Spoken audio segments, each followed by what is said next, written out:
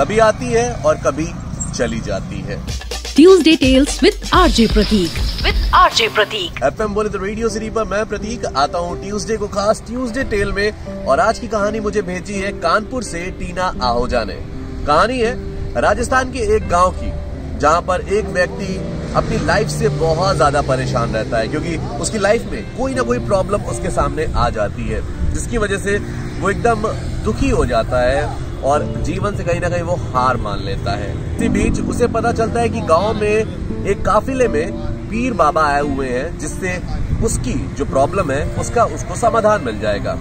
खैर, लोगों की बातें सुनकर उसने भी ये निश्चय किया कि चल के पीर बाबा से मिला जाए। काफिले में वो पहुंचकर पीर बाबा से मुलाकात करने के लिए अपना इंतज़ार करता है। उसकी बारी आती है और उस व्यक्ति ने पीर बाबा को ये बताया कि वो जो प्रॉब्लम्स हैं, कभी उसकी प्रॉब्लम आती है, कभी परिवार की समस्याएँ हैं, कभी आर्थिक समस्याएँ हैं और कभी स्वास्थ्य की समस्याएँ इतनी समस्याएँ हैं कि उसका पूरा जीवन समस्याओं से भरा हुआ है और ऐसे में वो चाहता है कि एक खुशहाल और एक शांतिपूर्ण जीवन बिताना चाहता है। उन्होंने बोला कि मैं तुम्हारे इस सवाल का जवाब दूँगा, लेकिन एक छोटा सा काम अभी तुम्हें करना है। तो व्यक्ति ने बोला हाँ हाँ मैं एकदम तैयार हूँ, क्या करना है? बाबा ने बोला कि आज रात तुम्हें जो काफिले में ऊँट हैं, ये सौ ऊँट हैं, इनकी रखवाली करनी है। और जब ये सारे बैठ जाएँ, तब तुम सो जाना। और फिर मुझसे सुबह मुलाकात करना। व्यक्ति ने बोला, इतना ही करना है, ठीक है। मैं ये काम करता हूँ और आपसे कल मिलता हूँ। खैर, सुबह हुई। पीर वाले बाबा उससे मिलने आए और बोले कि, कल रात तो अच्छी नींद आई होगी तुम्हें? उसने बोला, नहीं बाबा, एकदम नहीं। मैं सो ही नहीं पाया। कोई ऊँट बैठा ही नहीं, सारे ऊँट एक साथ बैठे ही नहीं। मैं सो ही नहीं पाया।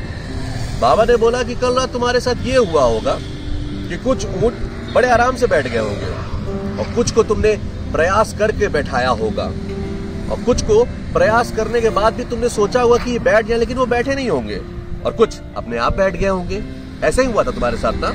व्यक्ति बोलता हाँ हाँ बिल्कुल बिल्कुल, यही हुआ था मेरे साथ। तो बाबा ने मुस्कुराया।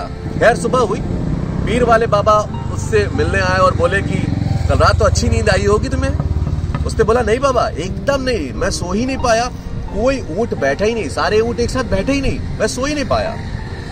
बाबा ने बोला कि कल रात तुम्हारे साथ ये हुआ होगा कि कुछ ऊँट बड़े आराम से बैठ गए होंगे, और कुछ को तुमने प्रयास करके बैठाया होगा, और कुछ को प्रयास करने के बाद भी तुमने सोचा हुआ कि ये बैठ जाए लेकिन वो बैठे नहीं होंगे, और कुछ अपने आप बैठ गए होंगे। ऐसा ही हुआ था तुम्हारे साथ ना? व्यक्ति बोलता हाँ हाँ बिल्कुल बिल्कुल, यही हुआ था मेरे साथ।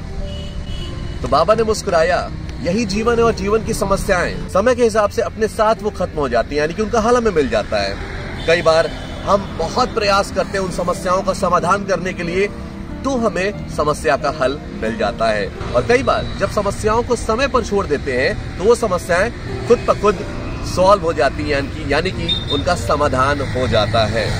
ऐसा कहते हुए बाबा ने मुस्कुराया और उस व्यक्ति को इशारा किया प्रॉब्लम लाइफ की एक पार्ट है, जिसे हम सॉल्व करते हैं खुद ब खुद कभी कभी सॉल्व हो जाती है और कुछ को समय पे छोड़ देना चाहिए। इसी एटीट्यूड के साथ आप चलिए।